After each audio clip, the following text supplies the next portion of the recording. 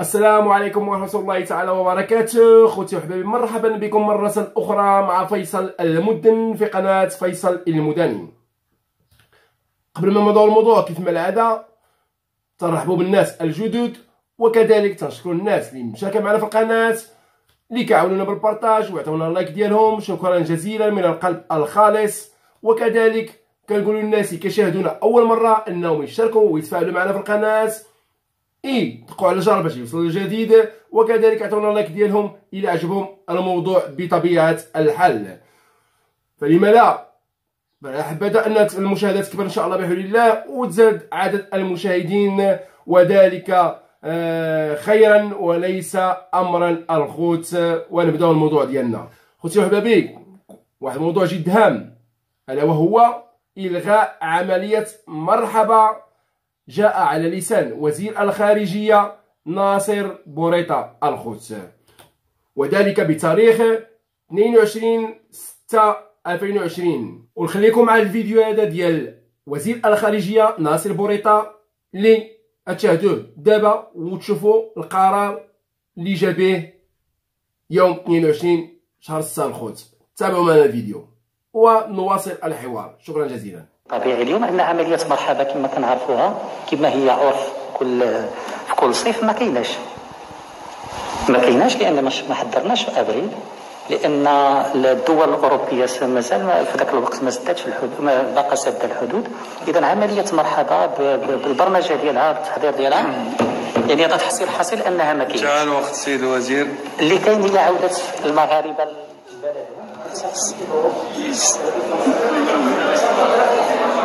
نعم. لا ينتفاهم وينتفاهم ما عندناش مشكل. كاين ضوابط باش تحكم الجلسة. الا الوزير استثناء أنا خلينخليوه يكمل. حتى واحد آخر ما يقول لي عطيني أنا الوقت زايد. متفقين؟ تفضل السيد الوزير شكرا. اذا نميزوا ما بين مرحبا اللي هي واحد العملية معروفة واحد تقاليد عندها واحد التحضير ثقيل يعني إلا ما بديتيهاش في افريل ما يمكنلكش تبدأ في كان جوان.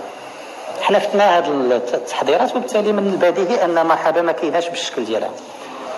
المغربي أنه يعود إلى المغرب خارج عملية مرحبا هذه أمر طبيعي مرتبط بأربعة الأمور. مرتبط اولا بفتح الحدود الدولية للمغرب البرية والجوية. مرتبط ثانيا بأن الدول المرور اللي غيكون فيها اللي هي إيطاليا إسبانيا وهذا بأنها تأخذ تدابير واللي كتضمن هذا المرور. مرتبطة ثالثا بالوضعية الوبائية الدولية. وشفنا اليوم ال OMS ولات كتهضر على واحد العودة ديال الفيروس والوطنية كذلك. ومرتبطة أخيرا بالبروتوكول الصحي اللي غيدير المغرب لكل عائد إلى المغرب. إلا كان اليوم المغرب عنده بروتوكول واضح اللي كيجي كيخصو يدير حجر صحي تسع أيام على الأقل ويدير deux tests PCR.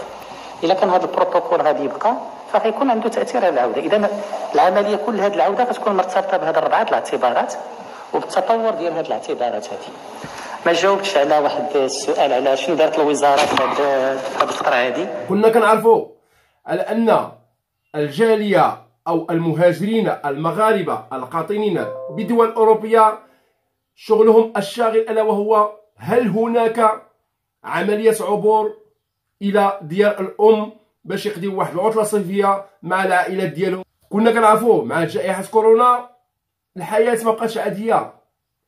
ما بين عشيه وضحاها القرار تيخرج اليوم وغدا تيخرج قرار آخر. ومن هذا المنبر أخ فيصل تيقول لكم للضرورة أحكام. خاصنا نتقاسموا معكم هذا الخبر مع العلم أن بعض القنوات راهم تقاسموا هذا الخبر هذا. ولكن قلت نخلي حتى ليا سيكندي عاد نتقاسموا معكم. لاخاطش ما كنعرفوش ربما اليوم يخرج لنا بشي قرار آخر وتبدل الأوضاع الخوت.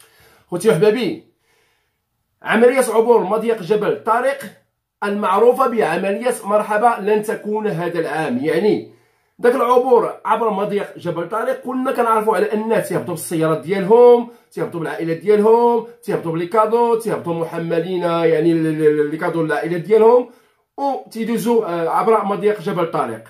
هاد العملية تلغات الخوت.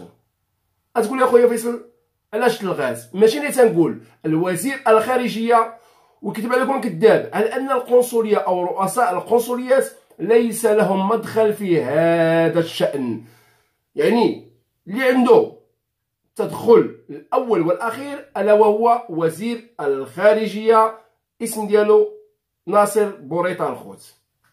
وكنا كنحترموا القرارات ديال الوزراء ديالنا ورؤساء الحكومة ديالنا الخوت. لقاش مادام تيخرج بقرار إلا السلامة لجميع الخوت. باش توصل هذه الرسالة. وكنا كنعرفوا على أن عمليه مرحبا تعني التحضير منذ شهر أربعة يعني شهر أبريل والتنسيق مع مختلف الجهات الخوت. تقول اخويا فيصل ماذا يعني هذا؟ خوتي وحبابي وزير الخارجية قال جعل اللسان ديالو أن عمليه مرحبا باعتبارها عرفا ينظم كل صيف يهيئ له في شهر أبريل الخوت. يعني إذا لم يتم التحضير لها في وقتها لا يمكن أن يتم تنظيمها في 15 يونيو الخوت. يعني هاد الشيء المسائل هذه كاملة. إلا ما كانش واحد التحضير يعني باش تعرفوا عملية مرحبا كانوا كيوجدوها ديما في شهر 4 يعني لا في الطاقم الأمني ولا الصحي يعني كاع الطاقم اللي كيشتغل باش أنه يهيئ يهيئ داك الترحيب من الخزيلات إلى آه إلى الديار المغربية. خصو واحد التحضير من شهر 4 فلا يعقل مع الأزمة ديال كورونا كانت كلشي مسدود الناس ما خداماش ما تمش التحضير ديالها وكانوا كيسرعوا باش يحضروا ولكن التحضير ما جاش وقته وتم إلغاء هاد عملية مرحبا الخوت. ماشي يعني تسدد الحدود نو. هي العملية مرحبا ما كايناش. اي باش عرفوا الناس ديال فرنسا بلجيكا آه، هولندا آه، الناس اللي كتهبط بالطوموبيلات. ما غاديش يتم عملية العبور بهذا النقطة الخوت هذه العملية تلغات على لسان وزير الخارجية الخوت خوتي وحبابي بالنسبة لعودة الجاليه مرتبطة بأربع اعتبارات قالها الوزير البارحة. أول ديال الاعتبارات هو فتح الحدود البرية والجوية والبحرية مع جميع دول العالم. هذا الاعتبار الأول. الثاني الأخوت المرتبط بالمرور بإسبانيا وإيطاليا. تقول اخويا فيصل ماذا يعني هذا؟ خوتي وحبابي كنا كنعرفوا هاد الازمه ديال كورونا الناس كتهضر بلجيكا هولندا إيطاليا وخصهم يدوزو يدوزو على إيطاليا وخصهم يدوزو على إسبانيا. ولكن خص الدول تساهم يعني وتعطيهم الضوء الاخضر يعني خص يكون الضوء الاخضر لهاد الناس باش يتم العبور ديالهم باش يوصلوا إلى آه، الخزيرات ويشدوا الباطو ويهبطوا لديار الأم. هذا هو الاعتبار الثاني. الاعتبار الثالث الخوت ألا وهو مرتبط بالوضعية الوبائية الدولية والوطنية.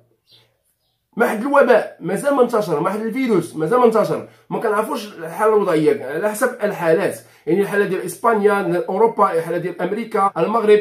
كنا كنشوفوا على أن ظهور بعض البؤر في بعض المناطق المغربية ولا الإسبانية. كنشوفوا ظهور بعض البؤر. يعني فاش تحيد الحجر الناس خداو واحد الأمر يعني ماشي بصرامة ماشي بجدية. في هاد ثلاث شهور ديال الصيف كنا كنعرفوا أن الاقتصاد ديال البلاد معتمد على السياحة الخوت وبغاو ينعشوا الاقتصاد ديال البلاد ولكن الناس راه مازال ما خداش الاحتياطات. اللازمة باش يتعايشوا مع الأمر و... ويتعايشوا مع هذا الوباء الخوت. وحنا كنشوفوا ظهور بعض البؤر في بعض المناطق الإسبانية وكذلك المغربية.